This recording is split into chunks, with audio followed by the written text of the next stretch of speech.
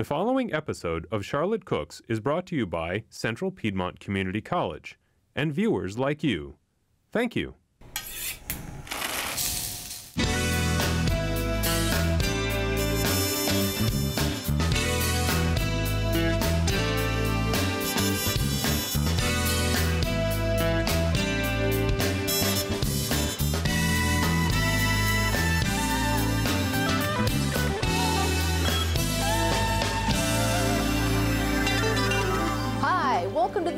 Charlotte Cooks. I'm Chef Pamela Roberts, and today we are going to be grilling up a flank steak, making chimichurri sauce from some fresh herbs, and serving that up just ever so deliciously. So, what we're going to do is we're going to talk about flank steak first. What's a flank steak?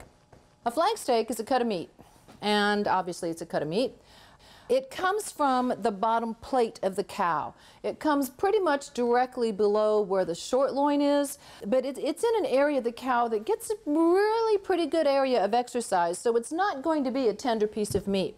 This is a flank steak. Now, this looks a little on the brown side because I've had it marinating overnight. I marinated it in Worcestershire sauce overnight just to add some flavor. But you can see the flank steak has a taper. It's kind of thickish on one side and then it narrows down. It looks like a great big flat tongue if you ask me. When you buy a flank steak, you want to look and make sure that there's not this giant fat cap sticking over most of the meat. You'll have a little bit of fat here and a little bit of fat here, and that's good. You want some fat because fat adds flavor and moisture. Without any fat on it whatsoever, you're going to have a dried out piece of meat and it's going to be like eating shoestrings, okay? So, what we're going to do is, well, also I want to show you, since this is going to be really, really evident right now, you can see the grain of the meat. The meat runs in this long grain like this. And now, this cut of meat, I'm going to use this for just the sliced flank steak right now, but we're going to be using it with a chimichurri sauce. You can find this piece of meat in the store. Sometimes they'll sell it as flank steak. Sometimes they'll sell it as London broil. In Chinese stores, you'll find it as stir-fry beef. It goes by several different names, but if you ask the butcher for a nice piece of flank steak, you can certainly get a nice piece of flank steak. And tell them you want the fat cap off if you're going to a butcher. Now, what we're going to do with this is we're going to season this up. We're going to season this up with a little bit of your favorite steak seasoning. And as I mentioned, I had already marinated this in a little bit of Worcestershire sauce. I'm going to flip it over, do it on both sides. All right. Now we're going to put it on the grill. You're going to get your grill good and hot. And when you put this meat on the grill, you're going to want to you want to get just because it's a big old piece of meat and you're going to put it out and you're going to carve it, you want to get those crosshatch marks on it. So you're going to take this hunk of meat. Look at this. All right. See this hunk of meat? See this? You remember when Lady Gaga did her meat dress? This was what she made her meat dress out of. I don't know how in the world she wore it because this weighs a lot. I'm surprised she made this out of meat dress out of flank steak. Anyway, you're going to put this on at an angle. Let's say around clock face. We're going to put this on. So it basically faces about 11 o'clock. We're going to let this sit in that position for about four minutes. Stop flaring up. If your grill flares up like this, guys, you can throw water on it. I'm not going to throw water on this grill because this is an electric grill. But you don't want that flame to be underneath your meat. So as long as it's off to the edge, you're going to be fine. Let me wash my hands, clean up my cutting board, and then I'm going to come back and flip this to the other side so that then we can have our nice grill marks. All right, well, you got all this smoke going on here. I hope you can see me. All right, the next thing we're going to do, after this has browned in one way, we're going to pick it up and we're going to turn it so it faces 2 o'clock, all right? Now, when you put your meat down on the grill, don't go moving it around. Don't go picking it up and looking to see if it's like got marks on it. Because when it lays back down, those marks are going to change. You're going to get another mark on it. You're not going to have such nice clear marks on there. So now I'm just going to turn this over and let it face about 1 to 2 o'clock for another 4 minutes. And let that grill for a little bit longer. All right, I'm going to turn this over. Now, if you're grilling outside, see, now this is what you want on here. You want to see those diamond hash marks. You know, sometimes you're not going to get it across the surface, but you know, that's the glory of grilling. Can you see me? That's the glory of grilling, okay? So you can also do this on both sides. You don't have to do it on both sides. If you just wanted to throw it on your grill and not worry about the hash marks, that's totally okay too. But grilling adds such a nice flavor to this meat. This meat is a cut that you can use, you can um, braise it to make it even more tender, but you gotta remember, it is a tough cut of meat. So if you're gonna be using it, you gotta cut it thin, and we'll talk about how we cut it after it's finished cooking. All right, so what I'm gonna do now is I'm gonna take this and I'm gonna put it in a pan and I'm going to finish this in the oven. I've got a 350 degree oven going um, just so we can move on and not be smoked out for the rest of the show, okay? So if you wanted to finish cooking this on the grill, by all means, please do. And the other way I would do this was once again, once I flipped it, I would mark it on either side and then just let it grill until it was the desired temperature you want. I'm going to try to cook this till about medium rare today. So now it's in the oven, 350 degrees, and it probably will take maybe Oh, maybe probably about maybe 10 minutes. Okay, so now we're going to work on the sauce. And for our sauce today, we're going to make a classic South American sauce called chimichurri sauce. And the reason I love chimichurri sauce is because it is just chock full of wonderful good things for you, like parsley. Now, if you're choosing your parsley to use, I'm just going to haul these things over here right now and talk about them. I'm going to be using some fresh cilantro. Doesn't that look nice and fluffy and nice? I'm going to be using, I said parsley. Where's the parsley? Right here. And the parsley that I'm choosing for this is a flat leaf parsley. Why am I choosing flat leaf parsley? Because I like flat leaves better than the curly leaf parsley. No other reason. If you had curly leaf parsley, you could certainly use it. So what are we going to do with our ratios for this? Equal parts cilantro, and parsley. I'm going to move this over here for right now. And I'm going to put this into a food processor, okay? If you didn't have a food processor, you could use a blender. Um, you could chop it all up by hand, which is a tedious amount of work. If you had one of those little chopper things, those little bitty ones, you could certainly use that, but you only make a little bit of sauce. And this sauce is so delicious that you're going to want a lot of it. Okay, so what we're going to do is taking our food processor, we're going to take about a cup and a half of our parsley and taking it out of my water here. And I like to store my, my herbs in a glass of water. Um, and I, I, put the glass of water directly in the refrigerator. And, and these things will stay fresh for a very long time, which is really kind of nice. All right, I'm taking the ends of the parsley and I'm going to break them off. Okay? Can we use that? If you made stocks, if you made some things that call for parsley stems, Save them. If not, you don't have to save them. Just drop them into your food processor. So far, y'all can do this. I'm gonna get rid of this here. Next thing I'm to do, I'm to take about the same amount of cilantro. Did you guys know that cilantro was one of the only herbs that goes by two names? Cilantro is basically the Spanish name for coriander. And we usually, in English, we call the fresh herb, cilantro, and then when we're using the dried herb as the spice or the seeds that have been ground up, we usually refer to that as coriander. But it's the same plant. It's just this plant has gone to seed.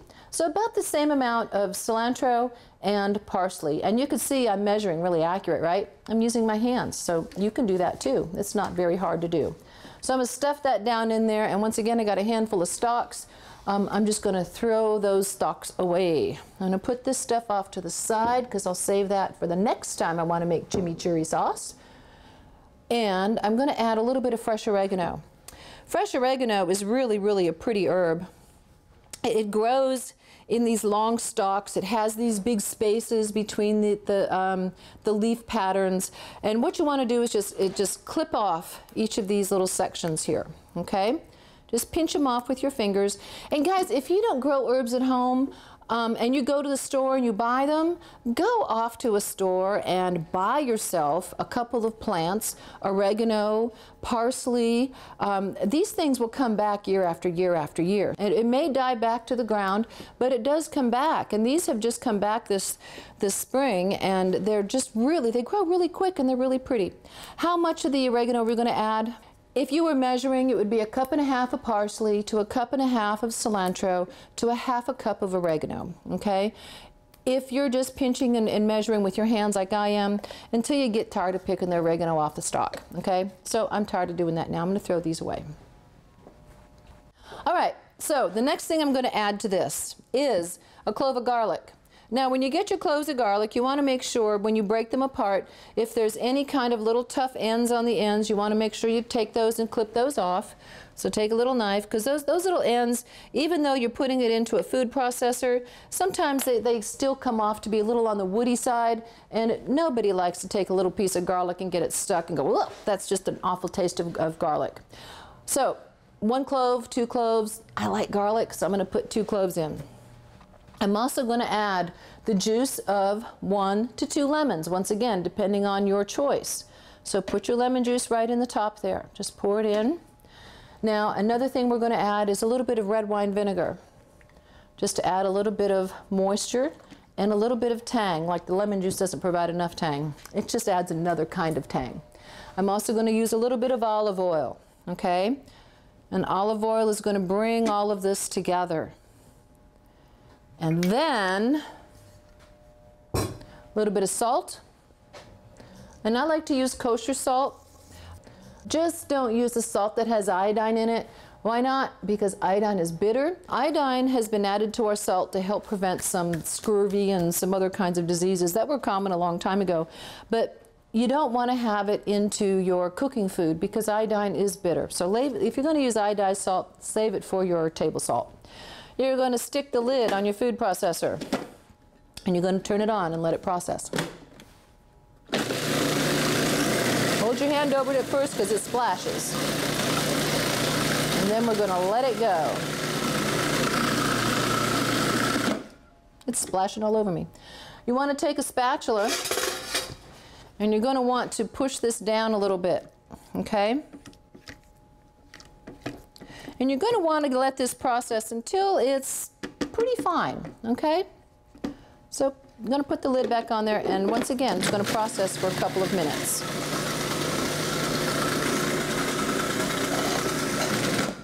You will have to punch it down a little bit, scrape your bowl down a little bit each time because it does get thrown up along the sides of the food processor, but you know what, that's okay, okay, okay. Just make sure you're aware of that and process it down. So once it's as fine as you like it to be, we're going to pour it into a bowl. We're going to give it a taste and make sure it's just the way you like it. You can see now that oil that's coming on the top used to be all plain and like white oil. Now it's all green from all the chlorophyll and the parsley and the herbs combining. This is good. Did you guys know that parsley's got a natural iron in it? It's just one, oh yeah, okay, I say that's ready. Okay, so now what we're gonna do is we're gonna give this a little taste. I think, see how I like that. Mm-hmm, yep, that, that's, yeah, that's good. That's, that's good. That's all I'm gonna say, that's good. All right, pick up your food processor.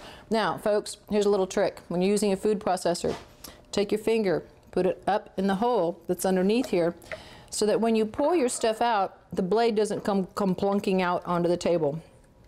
Okay, so we're just going to pour this out.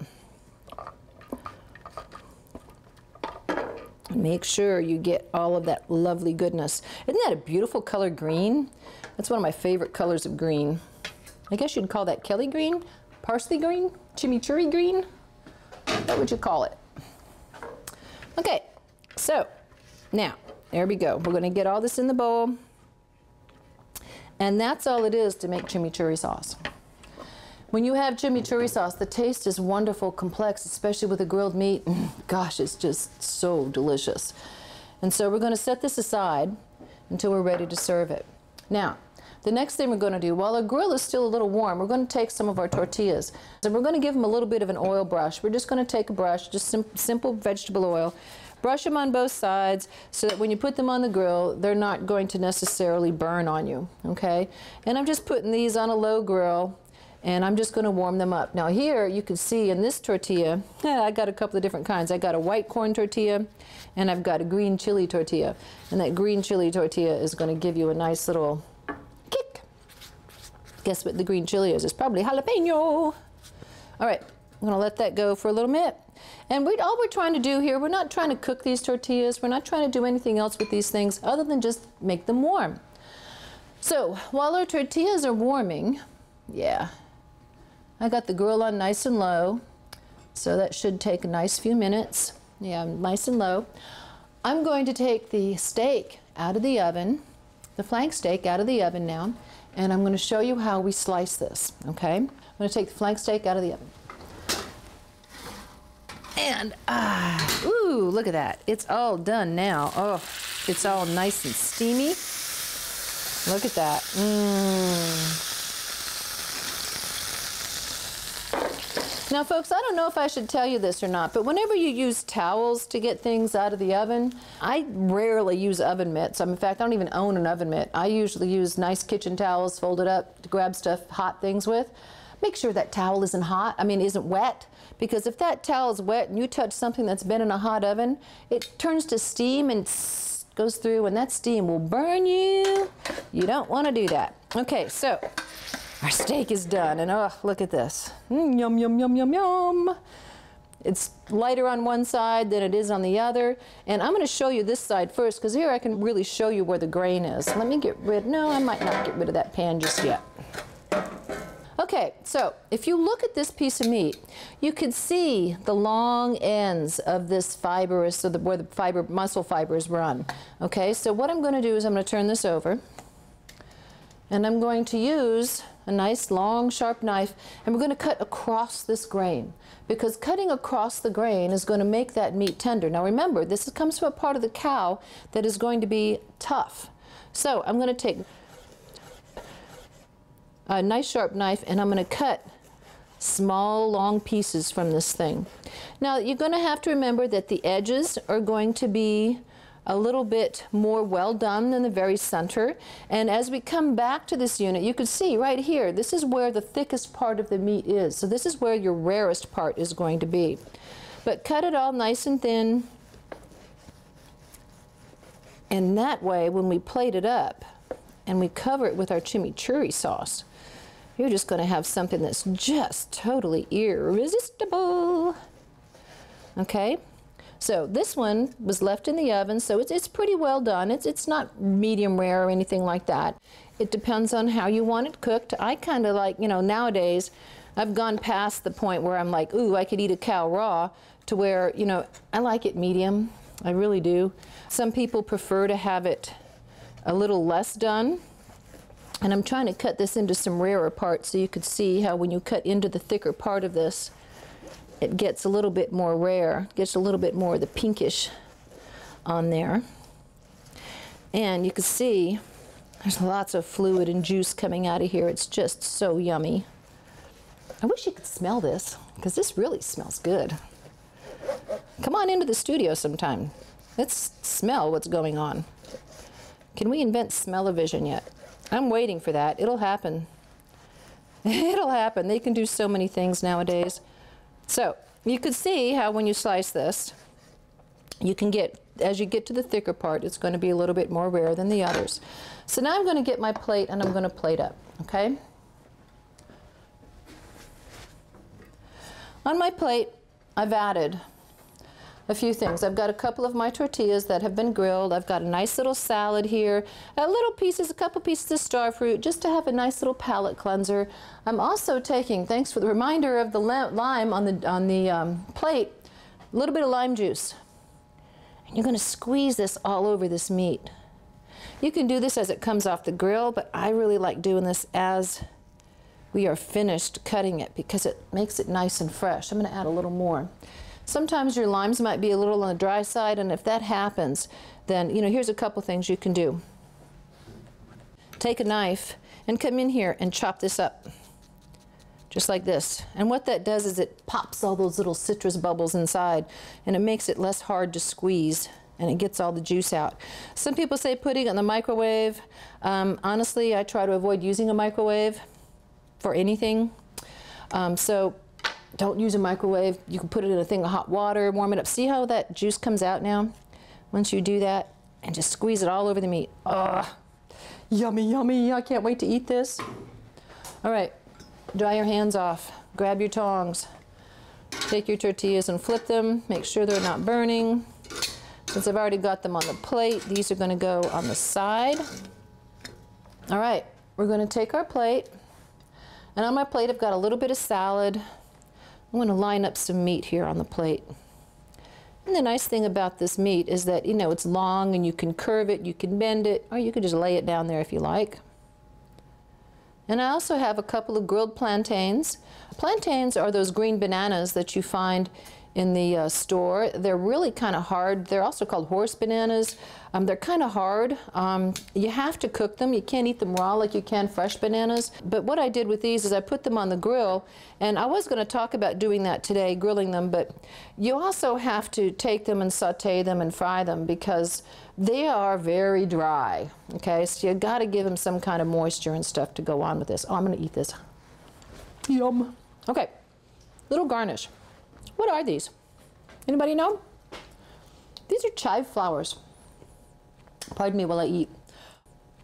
Chive flowers. These things will come out of your chive plants. They come out of onion plants and they come out of garlic plants too. You can eat these.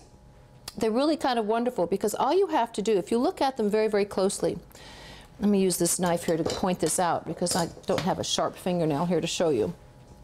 See all these little things in here? Look at this, all these little individual flowers. All of these individual flowers taste like chives. They're beautiful in color, so you just pull them off, okay? And you end up with this lovely, look at that. They're, they're gorgeous. They're absolutely beautiful little flowers. And you can take them, you can eat them. And they taste just like onions. They taste like garlic, whatever plant they're coming off of. These came off the chive plant. Now you have a garlic chive plant that puts out a white flower, which is nice. These are the onion chives. So I like to sprinkle this around just because it's, I like purple. Gee, imagine that. I like green, imagine that. I need a spoon. Where's my spoons? Here they are. I'm going to put this on our meat.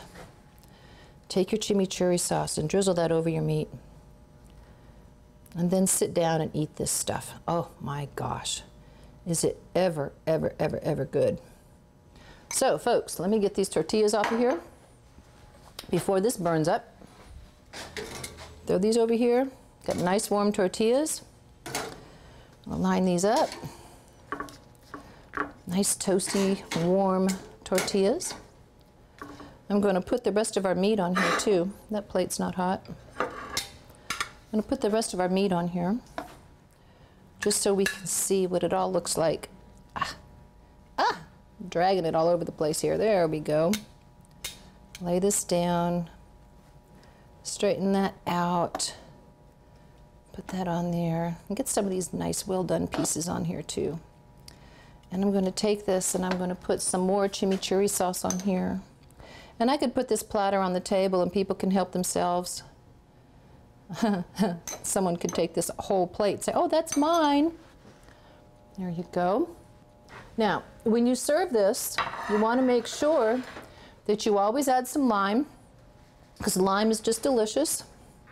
Just delicious, that's all. It's just delicious.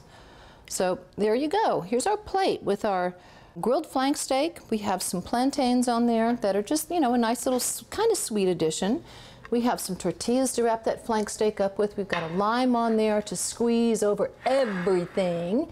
Got a little bit of star fruit on there because that just adds a nice little fruity flavor. Do you have to have star fruit? No, it's just one that I thought would be an attractive fruit to put on there.